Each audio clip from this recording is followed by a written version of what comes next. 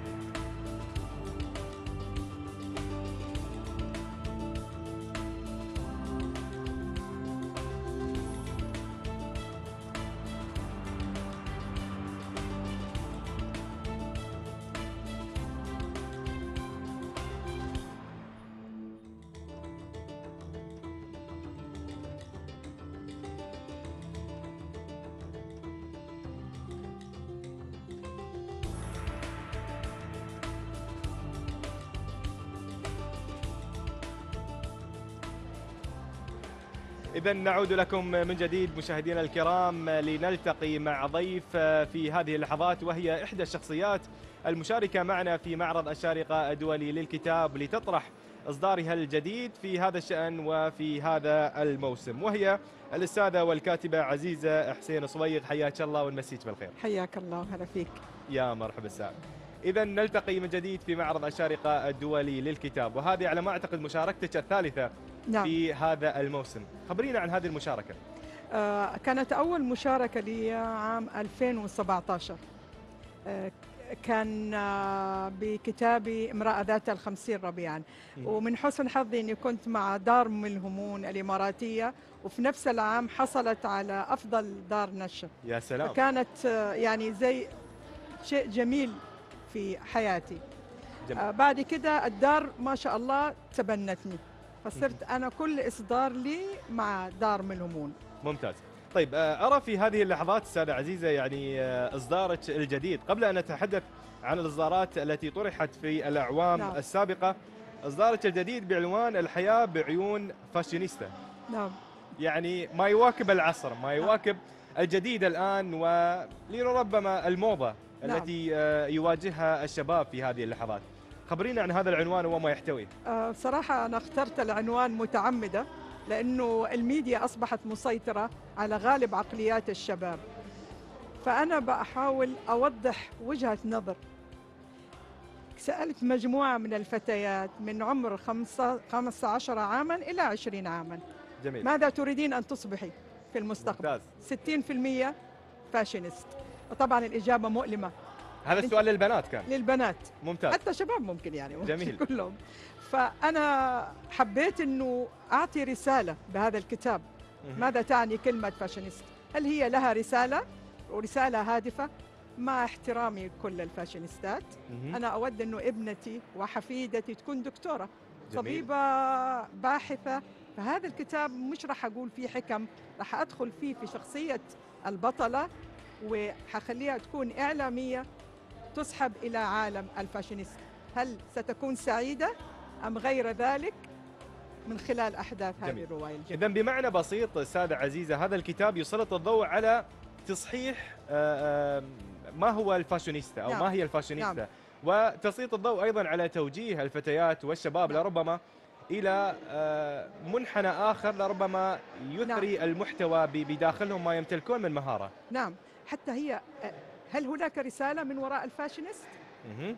هل هناك توجد رسالة؟ لا توجد رسالة صحيح لا أعتقد أن هناك رسالة بكل بساطة عشان كده أنا في مقدمة الكتاب قلت شخصياتي هي من الخيال ربما تصادف تكون شخصيات من الواقع. فهذا ليست مسؤوليتي جميل آه، طرحتي بعض ال- ال- الأحداث الواقعية أستاذة نعم. عزيزة في الكتاب آه بالنسبة للبث المباشر. لبعض ال- اللي هم ال social media. بيكون في بث مباشر مواجهة لل- للجمهور. إلا لم تكن الفتاة أو الشاب عندهم مناعة أو حصانة لهذا المواجهة للميديا ما راح يقدروا يستمروا. جميل. أي. أستاذة عزيزة لو آم، أناقش هذا الموضوع بواقعية أكثر. نعم. هل أصبح مسمى فاشونيستا مزعج نوعا ما لدى بعض أولياء الأمور الأمهات بأن آه، بناتهم وأبنائهم أصبحوا ينجرفون وراء هذا المسمى وراء هذه الإغراءات التي يقدمها البعض من مشاهير مواقع التواصل الاجتماعي بالشكل الخاطئ. نعم نعم لأنه الفتاة في السن الصغير هي بتبحث عن القدوة. تبغى تبحث عن القدوة. طبعاً. القدوة هذه هم عالم الميديا الفاشينيستات. مهم. فإذا مثلا اشترت شيء هي تريد مثلها. جميل. تشتري مثل هذه الحقيبة تشتري مثل هذا الحذاء مثل هذا الفستان فتكلف على عائلتها ربما أسرتها لا تستطيع أن تشتري لها. صحيح. و... وأين الرسالة لها يعني؟ ما لا توجد أي رسالة من وراء هذا العالم صراحة. جميل. عالم اسمحوا لي يعني واعتذر منهم عالم فارغ من الداخل. صحيح. عالم فارغ طيب استاذة عزيزة هل واجهتي بحديثك بعض الفاشينيستات الموجودين عندنا في الساحة؟ تحدثتي معهم رأيتي منظورهم لهذا المسمى أو ما يقدمونه من خلف هذا المسمى وهو مسمى نعم. آه، فاشينيستا حتكلم من جانب إيجابي. مهم. هناك طفلة طفلة. في عالم الفاشينيست وهي طفلة بريئة وهي تحمل رسالة كانت آه، تتكلم ببساطة واشتهرت هي ومجموعة من أخواتها. وكانوا يعني يعملون دعاية لوالدهم في مجال ما حتى أحترم هذه العائلة. فقدوا قريبا آه، أخت من أخواتهم. فمن حقنا كمتابعين بالآلاف لهذه الفتاة أن نحترم حزنها. صحيح. للأسف. كانت الفتاة تبكي على فقدانها لأختها. لو تشاهد الهجوم الذي كان يهجمون عليها المتابعين ويقولون كفى غما. يا ساتر. كفى الفتاة فقدت. كنتم تتابعونها وهي تضحك وهي تبتسم وهي تروي لكم بساطة حياتها وحينما حزنت وفقدت أغلى شيء عندها هاجمتموها؟ أليس شيء مؤلم؟ للأسف. فإذا لابد أن دخلت واخترت أن تدخلي هذا المجال أن تتحمليه ويكون لديك مناعة.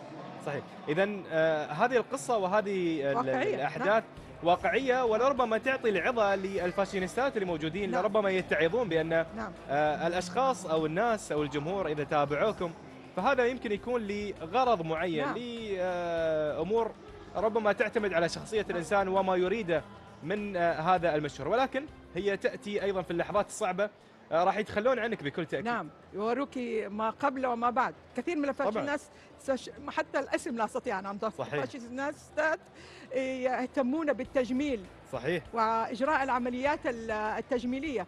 فتأتي المتابعة تقول لها انظري إلى نفسك. ما جميل. قبل وما بعد. جميل. طبعا هنا تنهار الفتاة يعني. ممتاز. آه، أرى أستاذة عزيزة في هذا التمهيد لبداية ال- ال- الرواية. أحداث الرواية وأبطالها وشخصياتها من وخ... من وحي الخيال عفوا. والكتابة تصورها لمجرياتها. نعم.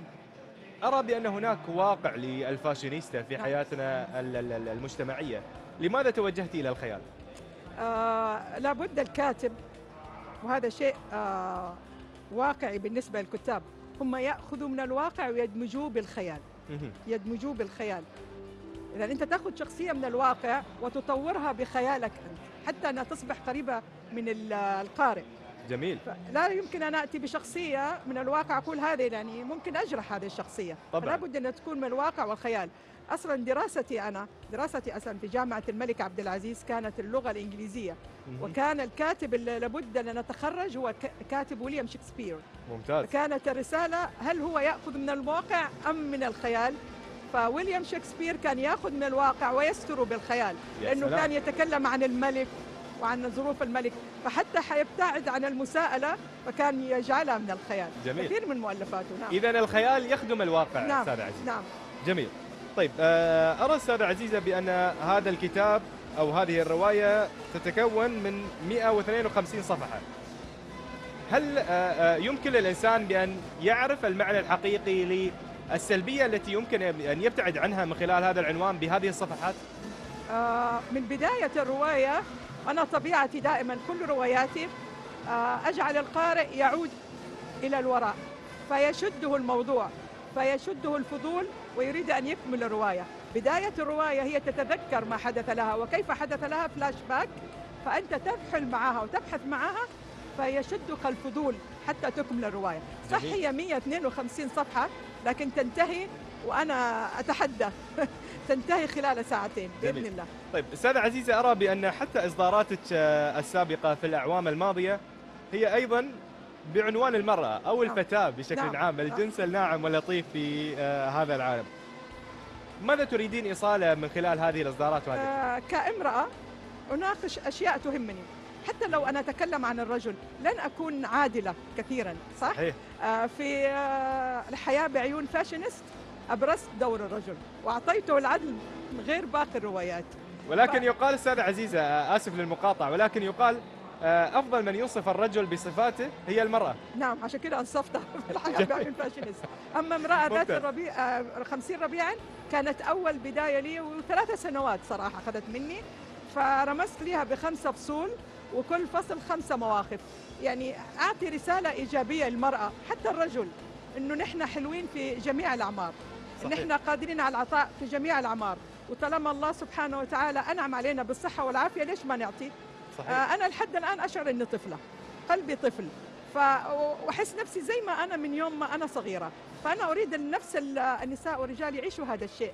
ما يتحسروا على العمر. العمر رقم. يا لكن سلام. التجربة هي الحلوة يا سلام. الحمد لله. أمانة أستاذة عزيزة أنا سعيد جدا بلقائي معك. سعيد جدا بهذا. الحوار بتعرفي على كل إصداراتك. ودائما ما نتمنى لك التوفيق في كل. ما تطرحين شكرا الله. لكم. بالعكس أنا اللي سعيدة إني أكون جزء من هذا الصرح ال- الإعلامي الجميل وأتمنى إن شاء الله أكون عند حسن ظنكم. وأنا بنت السعودية وأحس إنه أيضا بنت الإمارات. مكانك ودارك. الله يخليك. الله شكرا يسلمك. لك.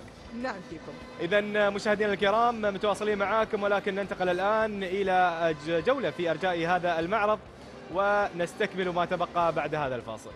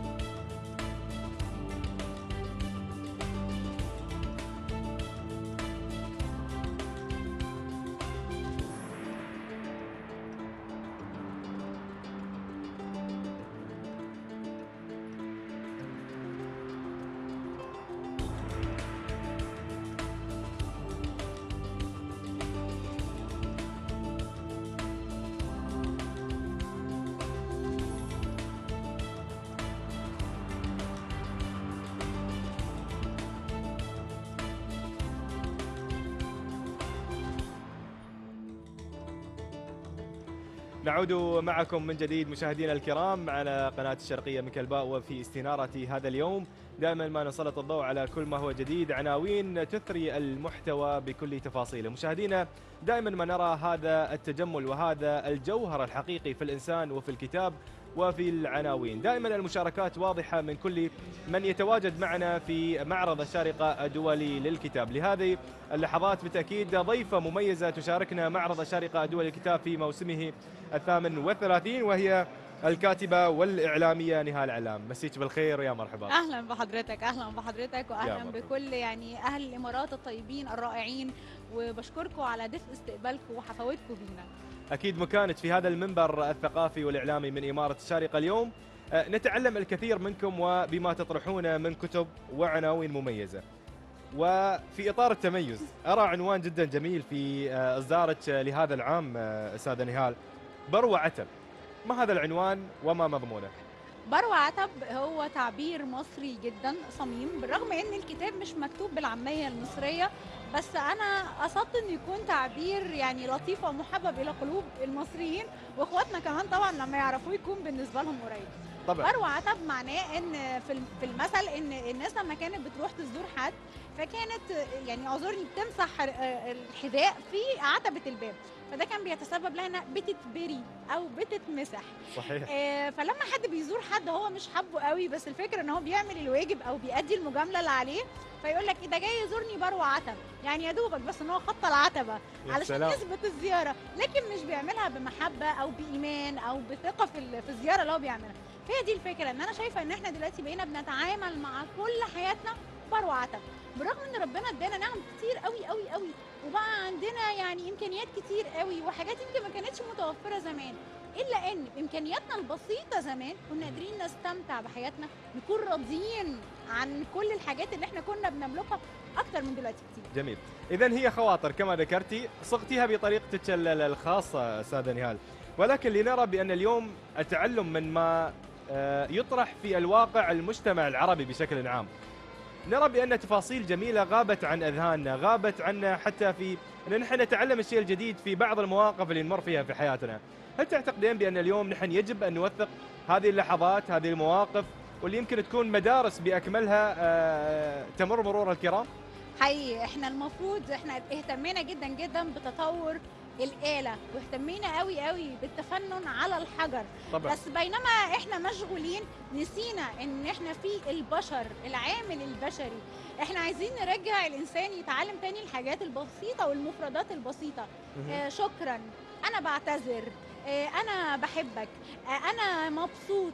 أنا راضي. المفردات البسيطة اللي حولتنا لآلات ولكن بيفصل ما بيننا وما بين الآلة إن الآلة متبرمجة فمنظمة. إحنا حتى البرمجة ما بقيناش متبرمجين. صحيح. فبالتالي بقينا بنتسبب في الكثير من الخو... الأخطاء ومن من الكوارث كمان أحيانا صحيح. بسبب إن إحنا لا بقينا بنمتلك أدوات التربية الصحيحة ولا حتى أدوات البرمجة الصحيحة. يا سلام. فأنا بحاول إن أنا أحكي أنا اسمح لي أستغل برنامجك طبعا. وأشكر أسرتي اللي كانت سبب في إن أنا أكون موجودة هنا النهارده.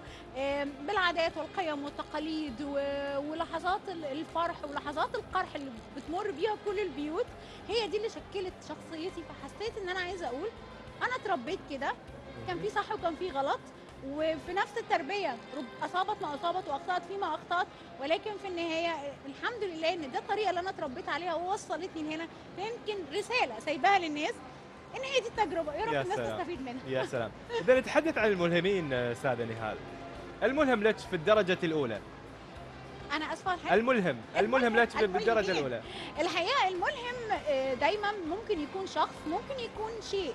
يمكن أنا بقول إن الأشخاص طبعا هنتكلم عليهم ولكن أنا عايزة أبتدي بالأشياء إن يمكن فرق الاعلامي أو فرق الكاتب عن الشخص العادي هي. حاجة واحدة درجة احساسه بالحاجة ممكن الناس كلها تشوف إن دي كوباية مية. بس ممكن الإعلام يكون ليه وجهة نظر تانية في درجة الكوباية في. نقاء المية في صحيح. فكرة إنها تفكروا بحاجه أو يربطها بحاجة تانية فالمفروض إن اللي عنده ملكة الكتابة أو ملكة الأداء ال- الإعلامي بشكل عام بيقدر يقف على تحليل أبعد شوية من. الشخص العادي في تحليل الأحداث. يعني يحاول أن يرى ما ما لا يراه الآخر. بالظبط. فالإلهام بيجي من كل حاجة حواليك. ممكن تشوف أي حاجة حواليك. تديك قدر من الإلهام. الأشخاص بقى وهم القدوة وهم المؤثرون في حياتنا وهم دول اللي إحنا يمكن النهارده بندور عليهم علشان ولادنا وعلشان الجيل اللي طالع جديد أنا كان طبعا بشكل أساسي والدتي يعني. كانت طبعاً. من أهم آه، الملهمين وما زالت. ولا تزال آه، بتبهرني بشخصيتها وبثقافتها وبتسامحها وب... يا سلام بكل أدائها الحقيقة أختي اللي قالت لي انت تقدري تعملي ده من وإحنا أطفال يعني. سبحان الله كانت طفلة وهي أصغر مني جميل وقالت لي انت عندك اللي تقدري تقوليه وساعتها كنت شايفة إن ده كلام عيال. يا سلام. اذا في في إطار الإلهام آه، في في آه، ما نراه نحن يمكن يكون آه، جاذب لنا في زوايا مختلفة في الحياة. أرى بأن الفن والطرب يمكن يكون لنا إلهام أيضا في بعض آه. اللحظات والدليل هذا العنوان آيس كريم في ديسمبر. آيس كريم في ديسمبر طبعا. هذا العنوان طبعا جاءت في إحدى الأغنيات الجميلة للفنان المصري عمرو دياب. حقيقي. فكانت أكيد لك إلهام في في إنك تكتبين بهذا العنوان. شو طبعاً. مضمون ال- ال- ال- العنوان هذا؟ آه، وإحنا صغيرين وكنا بنسمع آيس كريم في ديسمبر كنا حاسين إن ده ال- النموذج آه، إن إحنا كلنا عايزين نتحرر ونكسر التقاليد. كان ده أقصى سقف طموحاتنا في كسر التقاليد وفي الخروج عن المألوف جميل. فأنا حبيت أقول إن شوفوا الفرق ما بين أحلامنا لما كنا أطفال. وأحلام الجيل ده وهو أطفال. إنك تاكل آيس كريم في الساعة هو ده ده الفكرة المضمون. لكن ف- فشوف فرق ال- الجيل عمل إزاي ما بيننا وما بين الجيل الحالي. الحاجة الثانية إن يمكن عايزه أبعت رسالة إن وقت ما تبقى قادر على قادر على إنك تعمل الحاجة اعملها. لأنك. يمكن لو قلت إن أنا هستنى لما يجي الصيف وأكل ايس كريم يمكن ما تلحقوش يا سلام. طيب مثل ما شفت عناوين بسيطة يمكن توصليها للقارئ آه، في في هذا الكتاب. أيضا أرى عناوين بمضمونها آه، عميق جدا ما بين الكاف والنون. يعني أيضا هذا يعتبر آه، جزء خاص في هذا الكتاب لربما يحمل عناوين. وعنوان الأول تهادوا السعادة. كيف ممكن تأخذ السعادة مفهومها أستاذ نهال في في آه، كتابة أو حتى في مفهومها العام. سعادة في الرضا والرضا لمن يرضى. إحنا لو رضينا باللي ربنا مديهولنا هنلاقي السعادة. جميل. السعادة عمرها ما بتدور عليك. أنت اللي طول الوقت بتدور عليها. مهم. فلو بتدور عليها وأنت جواك إيمان إنك مش هتلاقيها عمرك ما هتلاقيها. لكن لو أنت بتدور عليها أنت عارف إنها موجودة في كل حاجة حواليك من أول عينيك اللي بتفتحها الصبح بتشوف بيها الدنيا. لما بتنزل من على السرير وقادر تحط رجليك على الأرض وتقوم عليهم. لما بتقوم في يومك وفي حياتك المشاكل اللي انت بتقابلها في حياتك نفسها نعمه معناها إن انت شخص مؤثر طبعا. بتأثر وبتتأثر بالناس اللي حواليك. فعلشان كده عندك مشاكل. لو مؤمن بأن كل مشكلة ليها ألف حل. مفيش مشكلة في الدنيا ليها حل بقى. يا سلام. كل مشكلة ليها ألف حل. بس أنت هتختار أنهي حل فيهم. يمكن مفيش حل بيعالج المشكلة تماما ولكن كونك تقدر تخف وتحد من أثرها يبقى أنت كسبان طبعا. طبعا بلا شك. أرى بأن معادلة السعادة في مفهومها ال- ال- العميق أستاذ نهال في في فيما نراه نحن مناسب لمنطقنا أو واقعنا. بأن معادلة السعادة تكمن في بعض الأحيان في التجاهل ولكن في المقابل أيضا تذهب السعادة وترحل عنا آه، إذا تجاهلنا بعض الأمور. فهنا نرى هذه المعادلة الصعبة بأنك أنت يجب أن تمسك العصا من المنتصف وترى أين السعادة بطريقها الواضح والصحيح. ويكون آه، عابر لكل المشكلات وبعض الظروف الصعبة. حقيقي. آه، يمكن أنا هنا كاتبة حاجة بالعنوان ده وهي لعبة التجاهل وهي إن إحنا علشان نحقق لنفسنا قدر من السعادة لازم فعلا نتجاهل بعض تصرفات الآخرين ولكن لا نتجاهل الآخرين. نتجاهل تصرفاتهم بإن إحنا نعديها. نعمل نفسنا مش واخدين بالنا منها. يمكن مش عشانهم قد ما هو عشان إحنا ما نأذيش نفسنا بتصرفاتهم. ولكن في نفس الوقت نحاول إن إحنا ما نتجاهلهمش. وأنا عارفة إن ده أحيانا بيبقى صعب جدا. يمكن ال ال ال الخاطر ده بيكملوا حاجة بعده اسمها كش ملك. وهي إن إحنا في حياة بعض عاملين زي الشطرنج. كل الفكرة إن أنا مش هنقدر نلعب مع بعض في الحياة في موقع مثلا ال ال القائد يبقى ممكن نخلينا على نفس اللوح ولكن نلعب في مربع آخر. ومش معنى الانتقال من مربع لمربع معناه إن ده شيء سيء. بالعكس طبعاً. ده عشان نحافظ على وجودنا في حياة بعض على نفس لوح الشطرنج. لأن أكبر خسارة لأي للطرفين إن إحنا لما نطلع تماما بره لوح الشطرنج. يا سلام. اذا أسافر معك من كوكب الأرض إلى كوكب المريخ والزهرة. كوكب الحب مثل ما سميتي كوكب الحب. لماذا؟ آه لأن إحنا دايما حاسين إن الأرض اتخلقت يا الآدم يا الحواء. بينما الأرض اتخلقت بآدم وجات له حواء. ووجود آدم على الأرض لأن هو العصب عصب إيه. الأرض. ووجود حواء على الأرض إنها الأصل في في السعادة وفي الرفاهية وفي إنها تكون تعين بقى آدم على الشيلة اللي شالها. ولكن مش معناه إن إحنا آه، أو وجود للأقوى والأصلح. ان واحد فينا هو اللي لازم يستمر طبعاً. ابدا. فعلشان كده أنا بكتب الكلام ده عشان أقول إن إحنا لازم نساع بعض يا سلام. ولازم نتحمل بعض. يا سلام. طيب آه، أرى بأن هذا آه، الإصدار الثاني نهال الأولاني الأول. هذا الأول؟ الأول ويجعله فال حلو يا رب. يا سلام. لأني أرى الإهداء الثاني في هذه اللحظات. آه. و... في إهداء أول لأمي أها. والإهداء الثاني لأختي. صحيح. إذا الإهداء الأول للوالدة الله يحفظها لك يا رب. يا رب. والإهداء الثاني إلى أختك. أمانة آه، وجود الأسرة في حياتنا شيء جدا ثمين. طبعاً. شيء جدا آه، رائع. لربما نسلط عليه الضوء بطريقة مختلفة في أغلفة هذه الكتب وهذه العناوين. أكيد. استغل الفرصة وأتوجه معك بالحديث آه، لمشاركة الكثير من الكتاب والأدباء معنا في معرض اشارقه دول الكتاب لهذا العام. كيف تشوفين هذا ال- ال- الاختلاط من الثقافات من العناوين من الكتب وحتى من الأفكار والمعتقدات؟ تشوفين هل هذا يخدم الساحة الثقافية في البلدان العربية أم آه، يخلق تحدي ما بين من آه، آه، يسيطر على الثاني من الناحية الثقافية أو العلمية أو حتى الفكرية؟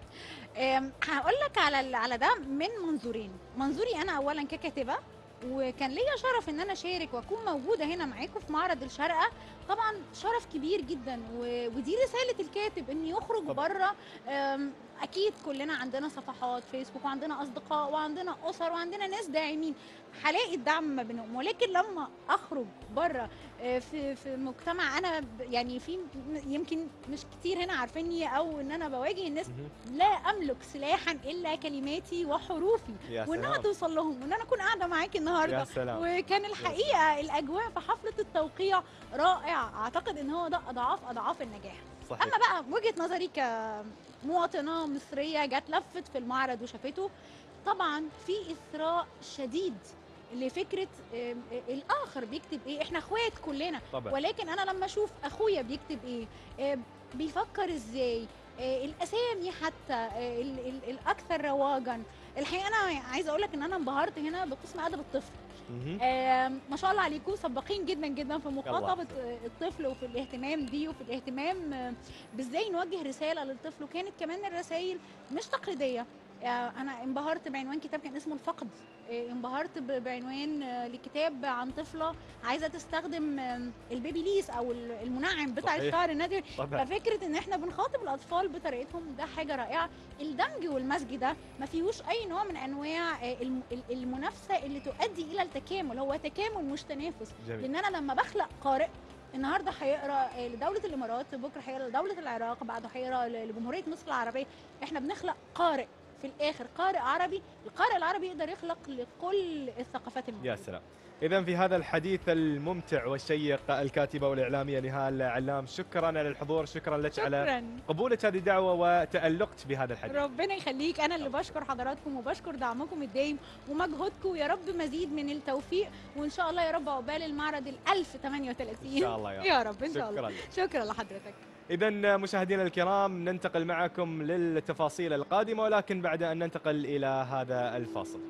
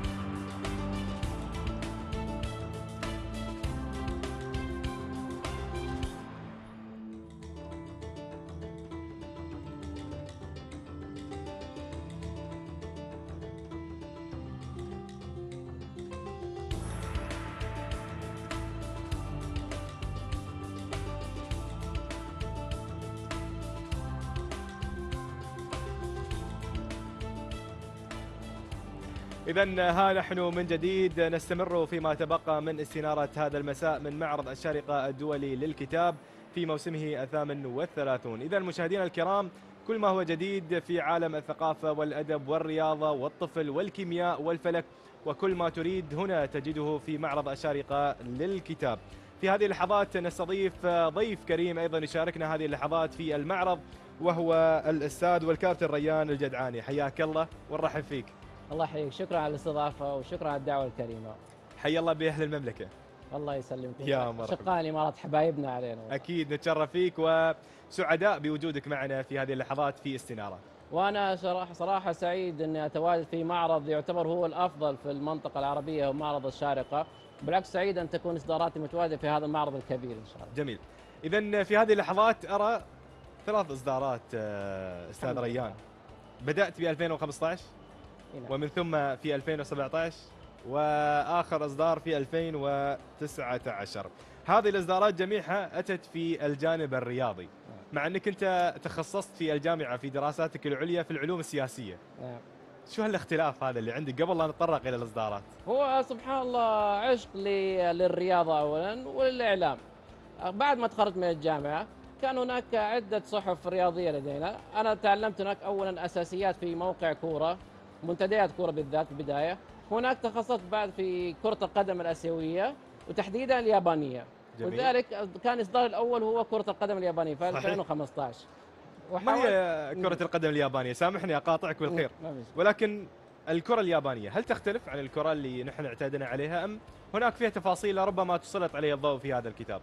أنا أول أحب أحببت أن كتبت الكتاب أن نتكلم عن سبب تطور كرة القدم اليابانية، لأن لاحظت قبل أن أكتب هذا الكتاب لاحظت أن المصادر العربية نوعا ما لم تكن جيدة صراحة نتكلم، لكن اضطرت عندما بحثت عن المعلومات يعني اضطرت أن أبغى سنتين حتى أقوم بإصدار هذا الكتاب.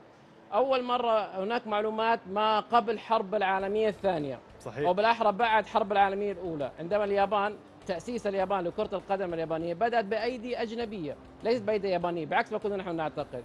أول مرة استعانت بالمدرسة الإنجليزية لكن بعد الحرب العالمية الثانية استعانت بمدرسة الماء الغربية. بعد ذلك أتت المدرسة البرازيلية.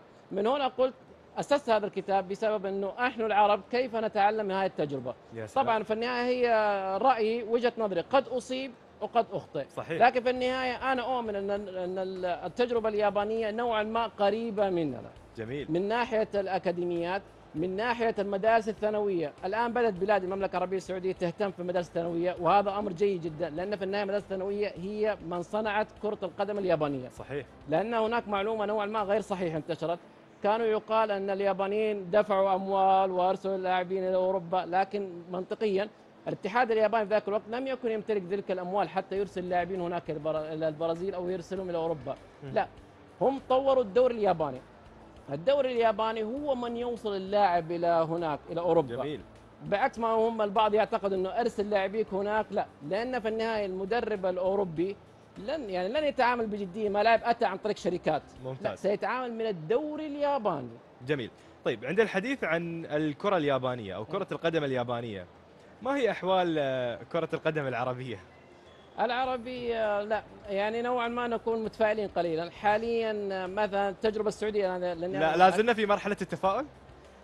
نوعا ما يعني. لكن عندما ظهر الدوري المدارس الثانوية في السعودية أقول. نوعا ما البداية. لكن جميل. المشوار طويل. لكن صحيح. على الأقل أن تضع أساسات من المدارس الثانوية وأيضا الاتحاد السعودي للرياضة المجتمعية. أن تجعل مجتمعا رياضيا هي البدايه ومن هنا كتابي الآخر عرب آسيا عرب آسيا، ركز صح. على هذا الموضوع المجتمع والرياضة. ممتاز. إذا آه، عرب آسيا. مضمون الكتاب أيضا لربما تكمل الكتاب الأول آه، ليس تكملة لا هي موضوع شكل مختلف؟ نعم، مختلف. هو موضوع عن المجتمع انك إنك أنت مثلا تحتاج لاعبين في كل الرياضات بالذات كرة القدم اللي أنا تكلمت عنها. مهم أن يكون لديك مجتمع رياضي يمارس كرة القدم أو يمارس الرياضة كنهج حياة. جميل. هذه مشكلة عندنا في العالم العربي. عندما كتبت هذا الكتاب كان لدينا مشكلة إنه الرياضة فقط مجرد كرة قدم داخل النادي فقط. يخرج من النادي ينفصل عن كل شيء. لا. يا سلام. ماذا أنا عندما كتبت هذا الكتاب شاهدت تجربة يابانية بسيطة. فريق جيبوا ايوات الياباني أقاموا يوم يسمى يوم العائلة. الطفل الذي يحب كرة القدم يحضر معه امه وأبيه يلعبون. معه كرة القدم. أمه. وابات يلعبون كرة القدم. هذا معنى يدل أنهم يريدون أن ينشروا الرياضة من المجتمع نفسه يا سلام. لأن الابن في النهاية هذا الولد عندما يلعب يكون مبرمج من المجتمع نفسه. عندما مع الأسرة. أيوه يشاهد الأم يشاهد الأب يشاهد الأم والخاله يلعبون كرة القدم أو يلعبون رياضة. مباشرة يبدأ في لعب الرياضة بعد أن يتم التغذية صحيحة لأنه البيت تغذيته صحيحة. يا سلام. من هنا نبدأ؟ من هنا بدأت اليابان. جميل. قبل أن نتطرق في الحديث عن إصدارك الأخير وهو يتحدث عن كرة القدم النسائية نصراوي ولا هلالي؟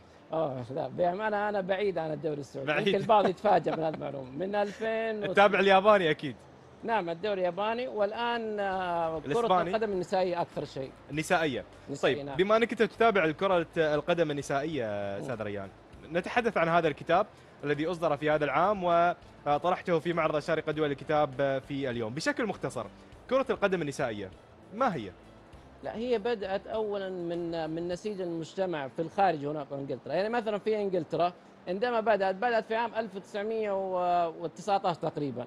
لكن توقفت تخيل هذه معلومة غريبة توقفت تقريبا في عام 1940 بسبب أن المجتمع يقول كرة القدم للرجال. تخيل نفس هذه المشكلة اللي نعاني منها الآن. ممتاز. لم تعد كرة القدم النسائية في في إنجلترا إلا تقريبا على أواخر الستينيات. بعد ذلك بدأوا إصلاح كرة القدم بعد أن يتم إصلاح حقوق المرأة وبعد يعني أمور كثيرة اجتماعية. حاليا أنا عندما كتبت هذا الكتاب ذكرت سردت أولا تاريخ كرة القدم النسائية على مستوى العالم في اليابان وأمريكا وإنجلترا. بعد ذلك ذكرت موازين القوة في الوقت الحالي. جميل. حتى نجعل المنتخبات العربية تشاهد ماذا يحدث الآن. جميل. عندما ذكرت كل القارات من بين هناك قارة آسيا منتخب اليابان كقوة جديدة ومنتخب قارات أوروبا ومنتخبات أوروبية مسيطرة. وأيضا منتخب الولايات المتحدة الأمريكية هو زعيم كرة القدم يا سلام. بعد جميل. ذلك تحدثت عن المستوى العربي. ماذا يجب أن نفعل؟ مدارس الثانوية؟ ممتاز. قبل ذلك مساواة في الأجور. وغيرها من هذه الأمور التي يتم تطوير كرة القدم النسائية تبدأ من العائلة ارتباطا بكتاب عرب آسيا وكرة القدم سلام. اليابانية. تبدأ من العائلة من الأب والأم. نربي أبنائي وبناتنا على قوة الشخصية داخل الملعب وخارج الملعب. ومن المدرسة دوري المدارس. إلى المجتمع لأن في جميل. النهاية لدينا معتقد في العالم العربي أنه كرة القدم مجرد فقط فقط مدرب وإدارة ولاعبين لا هي طيب. مستمدة من المجتمع أول. جميل. إذا من اللعبة الشعبية في هذا العالم كرة القدم أنا استمتعت بالحديث معك في هذا الشأن. شكرا لك أستاذ ريان على الحضور. وقبولك هذه الدعوة ونشكر أيضا تواجدك في المعرض. شكرا جزيلا. شكرا لك.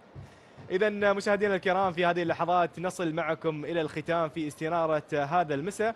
وإن شاء الله اللقاء يجدد بكم يوم الجمعة بإذن الله بلقاء آخر وجديد وفيه كل التفاصيل الجديدة أيضا في معرض أشارقة الدولي للكتاب. إلى ذاك الحين تقبلوا تحياتي أخوكم عمر أحمد وتحيات جميع طاقم العمل ودمتم بأمان الله.